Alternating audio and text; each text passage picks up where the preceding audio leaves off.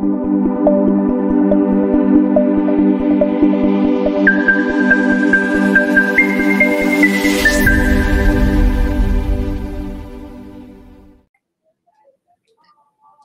everyone. How are you doing today? It's my pleasure to join us, uh, to join everyone with this show today with the attorney Margaret W. Wong, who has a lot of experience working in the immigration field and helping thousands of families every single year for 46 years that she has been working on this field. So thank you so much for joining us today. Please uh, feel free to send your questions regarding to immigration and um, of course, we're going to have the attorney Margaret W. Wong giving us some answers uh, to every one of us and uh, just clarifying that uh, those questions that you are asking today is only a reference of what's going on, but to give a more detailed answer to your specific case, we need to see your documents. We need to uh, check what's going on with your case and uh, just to have a specific answer for you. So the answers are general, but um, that gives you a light of um, how everything could be going in your immigration case. Let's welcome the attorney Margaret W. Wong. Hello, Ms. Wong. How are you doing today? I'm very good, Mr. Juan Carlos. Thank you. Thank you so much for having us today, Ms. Wong. And well, I, I would like to start by uh, talking about DACA, which um, just is facing um, a new lawsuit claiming the uh, the lack of claiming that it's illegal that is illegal. and I like the way you when you talk about it, you look at it and think about it. It is of course legal. Hundreds and thousands of young people already got DACA and that's another ploy by the same Trump thing. Is already you cannot uh, file the new ones. I don't know what these people want, but because the law now is you already have DACA, you can extend it. You can still do parole, but no more new DACA.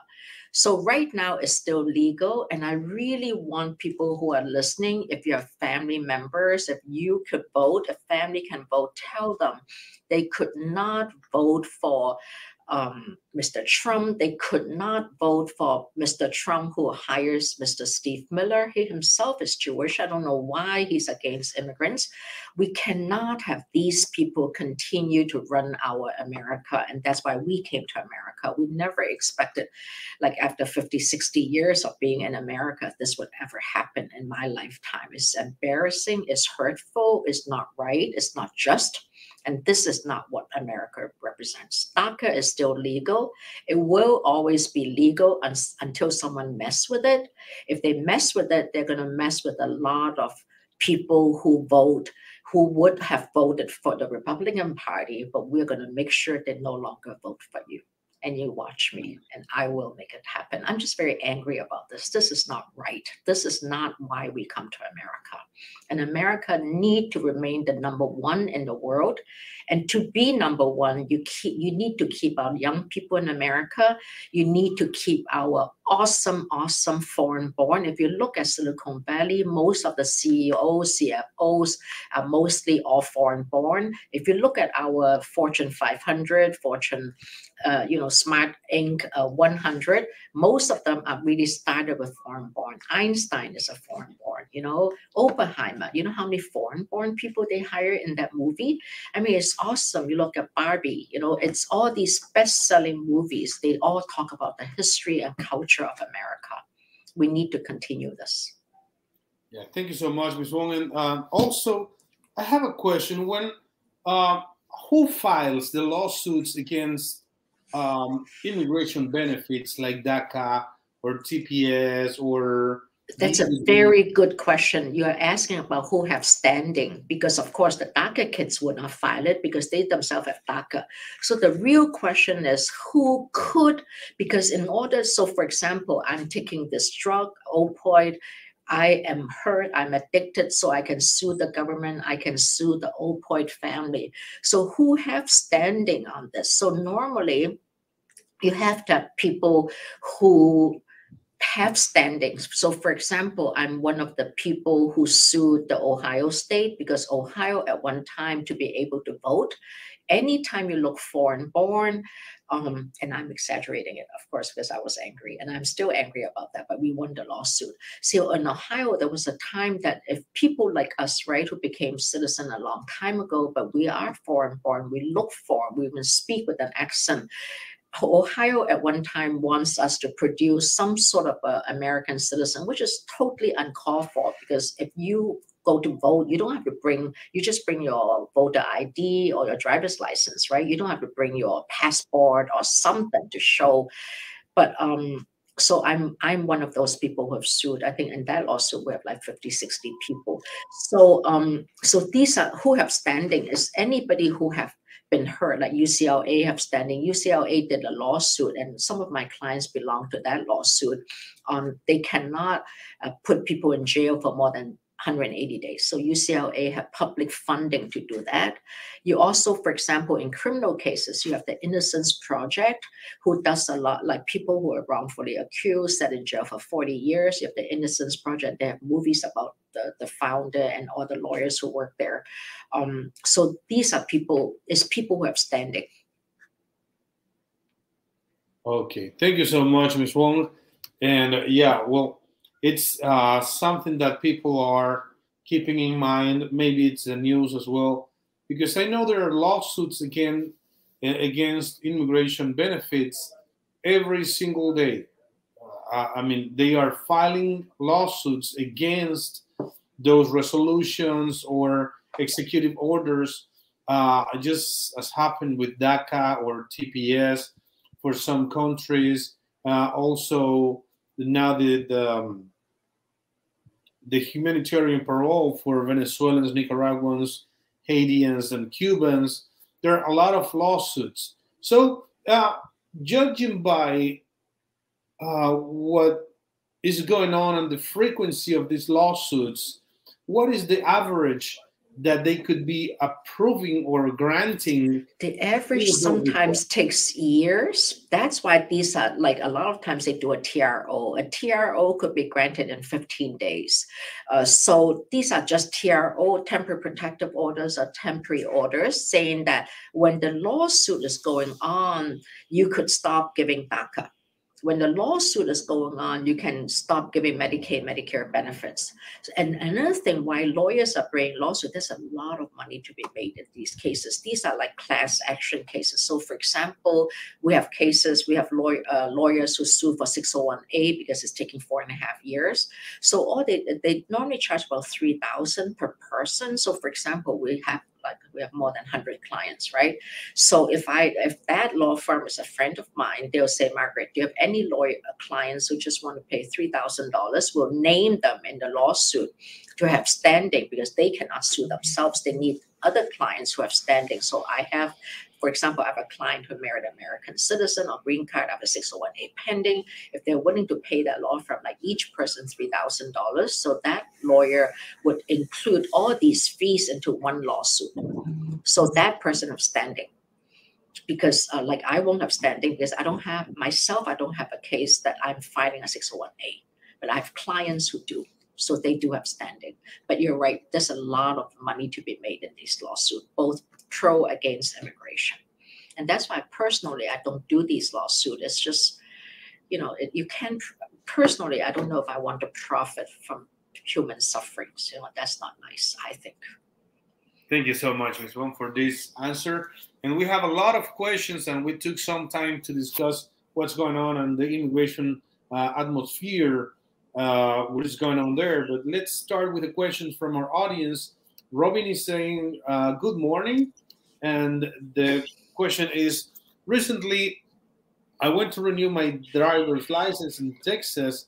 Uh, my boyfriend EAD through visa, or well, I don't know what that BF means, but EAD through visa, valid for four years.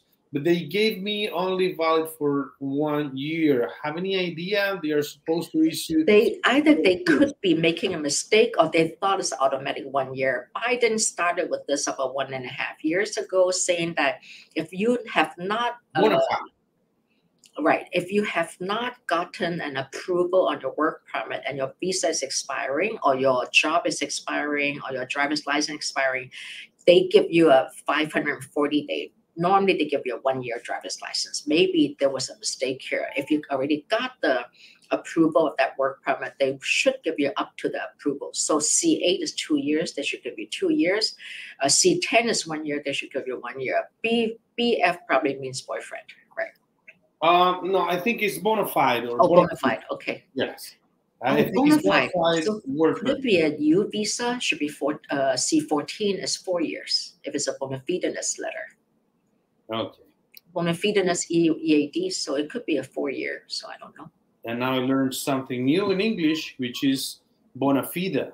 A bona fideness. oh my gosh, yes, yes, yes. Yeah, I got that new one. Bona fideness okay. in marriage cases, bona fideness in a widow case, bona fideness in a U visa case. It's, it's, I think this is a U visa case because yeah. it's a four years yeah. uh, work permit. So I'm learning. Thank you so much, Ms. Wong, oh. for all you are teaching me oh, every single Wednesday and together Thursday. from our clients. Yeah, thank you. Thank you so much, Ms. Wong. Well, Robin, if you need more information, please give us a call. The phone number is 216-279-3984. 216-279-3984 is the phone number you need to call in order to talk to the attorney Margaret W. Wong. Hello, lawyer. I am from Honduras. I have uh, pending asylum since 2016. My younger sister is in Honduras. She works and studies, but is not married and doesn't have any children. She wants to fill out the visa application. Is, is it advisable to be that I have a pending asylum in the United States? That's a very good question. we don't ask for your status. The question is, have a visa petition ever been filed for you? The answer is no. Do you intend to work? The answer is no. Do you intend to study? The answer is no. Look at the question. The question is Do you have any immediate relatives in America? But look at it because immediate relatives, technically, the immediate relative definition in America is parent, spouse, or child a lot of people do put brother, but look at that question before you answer. But the IR, immediate relative, means parent, spouse, or child, doesn't include brother. But you could always say, yes, the brother is here, but they do not ask what's his visa status. It's none of her problem because it's only a brother.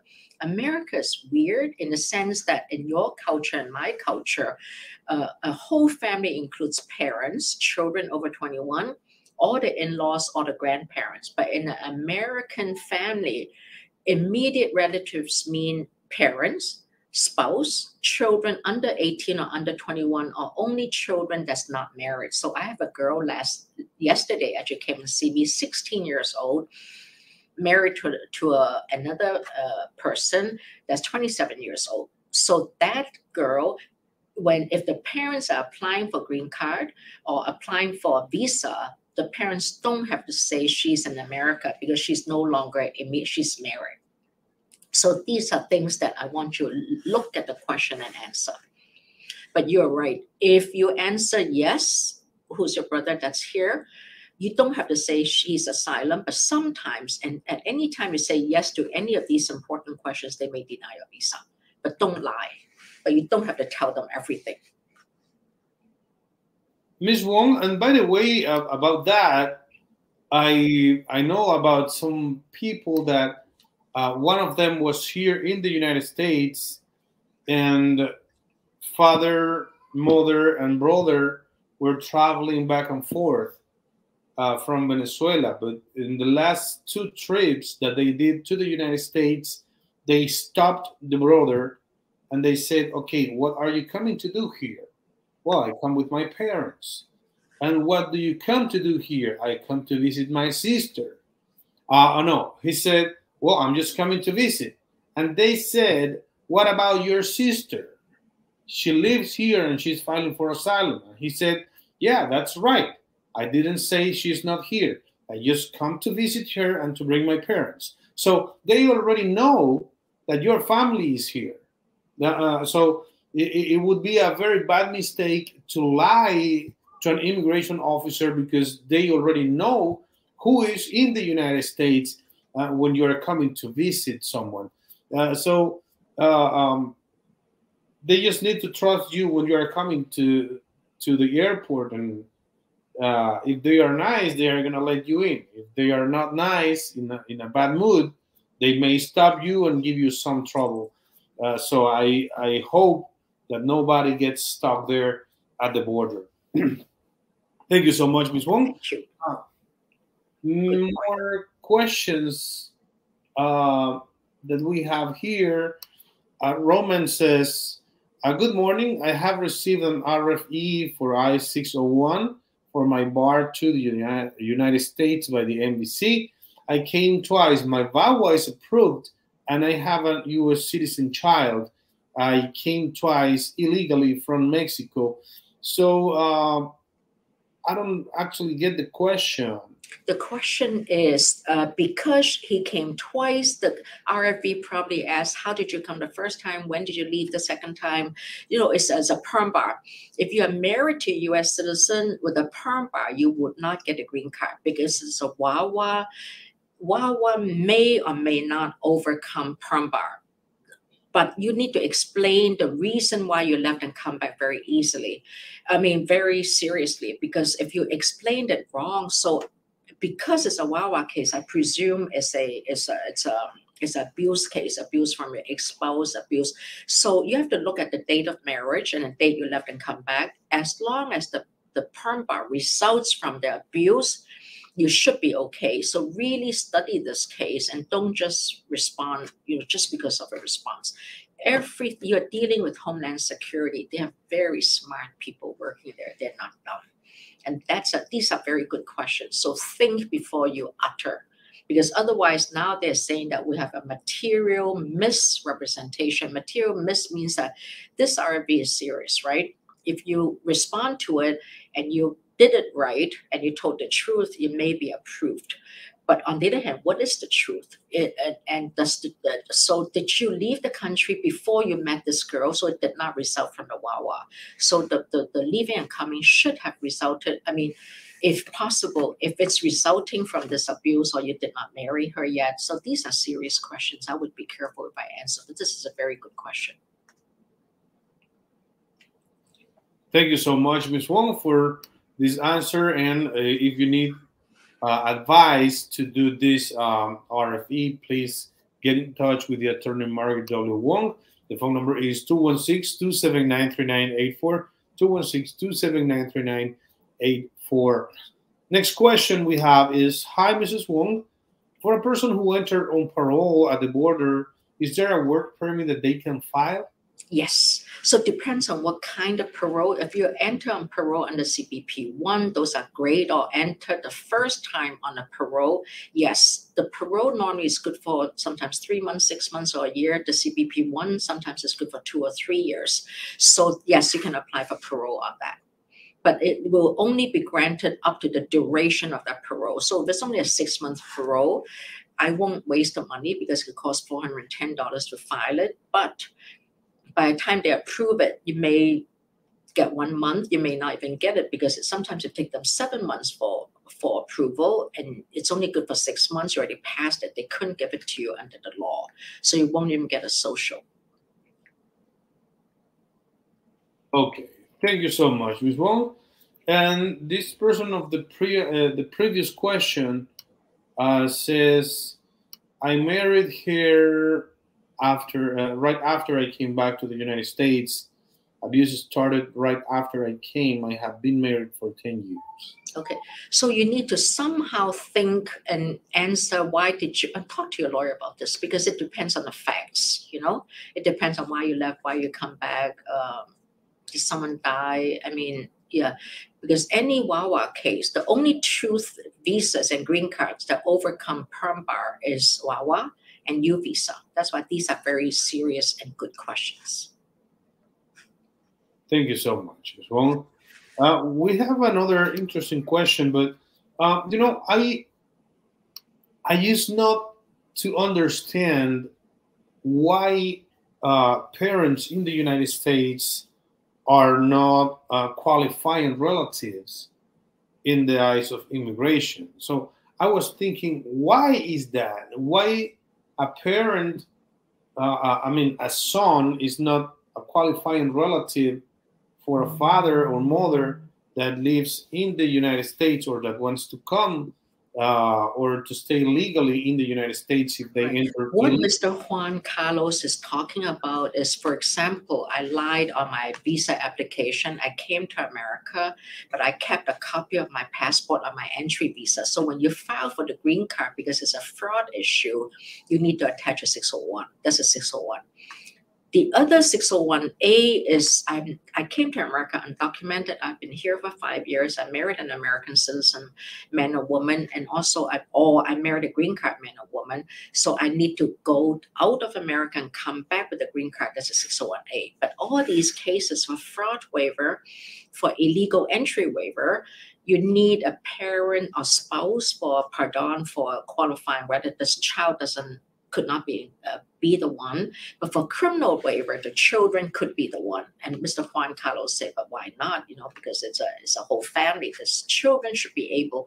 The answer is that's how they wrote the law. And absolutely, if Mr. Biden became president or whoever became president the next term, um, I hope it's Mr. Biden because he's into what we are talking. Because Mr. Biden was VP for the last eight years. Before then, he was in Congress. He knows the system. You know, he knows what we are complaining about. So hopefully, he'll make that change. That change requires Senate and Congress. And I don't know if they approve it because right now, everything that requires Senate and Congress is deadlocked. But you're right. I mean, I don't know why not. That's so stupid, but that's yeah. exactly what the law says. You're right. Yeah, but I understand now I understand what they say.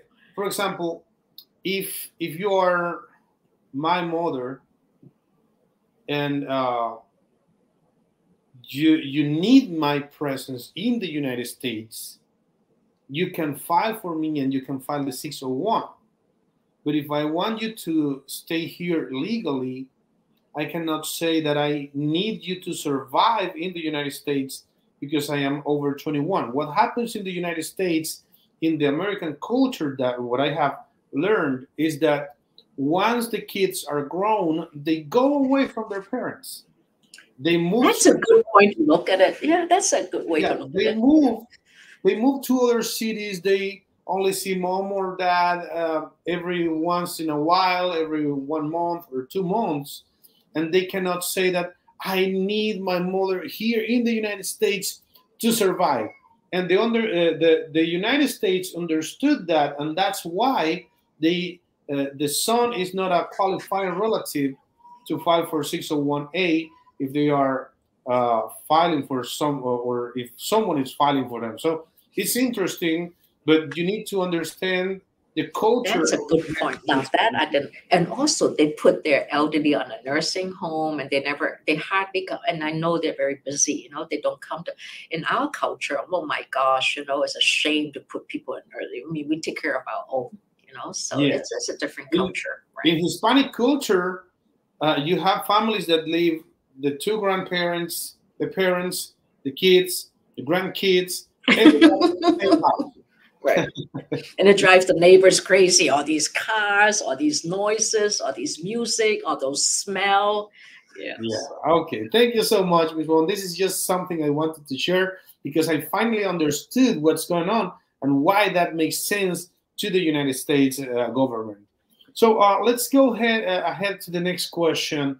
And this person says, I have a French passport uh, but I was born in Dominica, is one of the islands in the Car- in the Caribbean.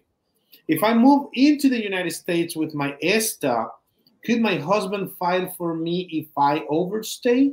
Yes, absolutely. It's a legal entry overstay? Yes. Okay, so thank you so much for this question. And if you need more uh, information about this or how to do it, um, please don't hesitate to call the office. The phone number is 216 279 3984. 216 279 3984. We have a question coming in or on, on our Instagram account. And let me just check real quick here because we have a lot of comments. Um, one of them is um, this weekend was crazy about the questions. Um, I have some questions about immigration. Um, I am from Mexico. I want to go to the United States to work legally. What is the best way to do it? I am a, a oil engineer, if I can translate that. America needs engineer. Try to get a job. There's a lot of jobs for engineering. Uh, you know, on the job sites, like Indeed is one of them. There's a lot of job sites or engineering job sites.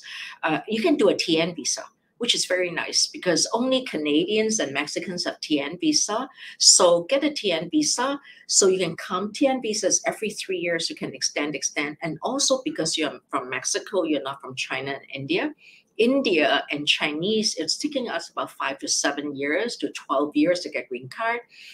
Mexicans takes only one and a half to two years to get green card, like few weeks to get a TN visa. Congratulations. America needs engineers. And you don't even need to be here uh, to apply for the job. You can just uh, send in resumes because I have these employers who call me and say, I got this beautiful resume. How do I hire them? And stuff like that. America is in need of people. Okay, thank you so much, Ms. Wong. My kid is making a lot of noise. I apologize for that. Oh, it's beautiful. He's uh, yelling all the way in the in his uh, bedroom. Next question. Um, how long does USCIS take to make a decision on I-730 after response to RFE? Uh, a normal RFE three weeks to three months. 730 is a problem lately. There was a time um, especially when Miss Kathy uh, Redmond was in charge of 730. She's, she's an old, old friend. 730 should only take two weeks to about six, seven weeks, three months, six months. And then they started this new program of giving the approvals directly to American embassy or consulate, like in China, only Guangzhou gives immigrant visa, but 730 they'll give it to other counselors who release the workload of like they'll go to Beijing, Shanghai, and they'll get it in three weeks. So people will come to America in less than one year. Nowadays, 730 sometimes taking three or four years. Um, but you are, the good news is you already have an RFE, which means that you should get an approval three weeks, three months, six, nine months. Um, RFE is good because at least they're adjudicating, they did not forget about you. Thank you so much, Ms. Wong, for this answer. Don't forget that you can call. The phone number is 216-279-3984. 216-279-3984 is the phone number that you need to call uh, to talk to the attorney Margaret W. Wong or to set a consultation uh, in the next days that she's going to be traveling. She has offices in seven cities of the United States, Atlanta, Chicago, Columbus, Cleveland, and then Nashville, New York, and Raleigh, North Carolina. And the phone number is just one 216 279 3984. 216 279 3984. You can also go to our YouTube channel and see her videos that uh, she's uploading frequently, uh, talking about immigration topics, and also her website, imwong.com. You can see it on the bottom of this screen www.imwong.com or more information 216-279-3984 216-279-3984 is when we have time for one more question and this is an interesting interesting one. R1 visa includes wife and kids. What are they allowed to do as beneficiaries? Can they study or work Yes, uh, they cannot work, they can study, and they could also go to public school. So, for example, you have a child who is 16 years old. He can, once they got a, a beneficiary visa, they could come to America and go to public school and keep the R2 because R1 is only good for five years maximum. So, once the R1, which is a religious worker visa, after two years, make sure you file tax return. On the tax return, say you are a religious worker, don't say you're a truck driver because a lot of religious workers because of different religion. They could also work as, as aside from uh, religious. So you should be a full-time uh, religious worker. Number one, on the tax return, say you are, there are three types, vocational, pro, potential, um, professional, and ministry. So uh, tell them full-time professional worker for more than two years two years and one day, file the 360. There will be a site visit. 360 is the only 360 that you cannot concurrently file the 485. Make sure when the 360 is approved, include your child who's under 21 so the kid doesn't have to go to F1, the student visa. Because R2 allows you aside to work, to go to school, you cannot work. Um, but you get the green card in less than five years. The whole point of a religious worker is only five years. You either leave America within five years or get the green card in less than five years. So religious worker, sometimes it's not fair for the children because I've done so many religious worker. The children age out and now they're stuck with no visa when the parents already have green cards. Okay, Ms. Wong, this uh, is the same person asking other questions and says, What happens if the pastor that filed for me passes away? The pastor has cancer. I'm sorry. So the whole thing about this question happens a lot. Not just he passed away, you know, he went to another uh, ministry. He went so as long as the ministry is the same denominational, you could switch to another church because it's not like an H one where it's employer specific, location specific, county specific, salary specific. R one, you as long as denominational, and you can switch, but you still need to do a new L one. But more than that, R one could not be and should not have been filed by just a pastor. It should be with the approval of the board of directors. So, so I don't know if they're stopping to pay you, but you need to go to the board of the religious organization and then uh, and talk to them and continue R one. Just because the, the, the pastor died does not affect the ministry, does not affect more than that, they need you now because your mentor died. They need you to carry on the mission. So talk to the board of directors. Hopefully they'll keep you on payroll two years and one day file for the green card. I mean the 360 and then the green card. Thank you so much, Ms. Wong. And our time is up for today. Thank you so much for your answers and for uh, clarifying so many questions today. And looking forward to see you next Wednesday in the morning show in Spanish in our Facebook in Espanol. Thank you so much and have a good lunch and take care. And Mr. Juan Carlos, if I can make one more comment, yeah. when you say my email, my show, it should be really our show. You are the one who produces for us. You and your team up there. Mr. Juan Carlos have been with us for a long time.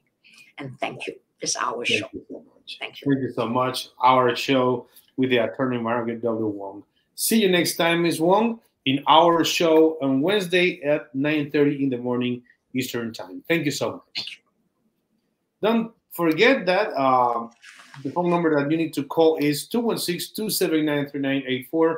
216-279-3984 is the phone number that you need to call in order to talk to the attorney Margaret W. Wong, who has over 46 years of experience working and helping thousands of families uh, to get an immigration relief.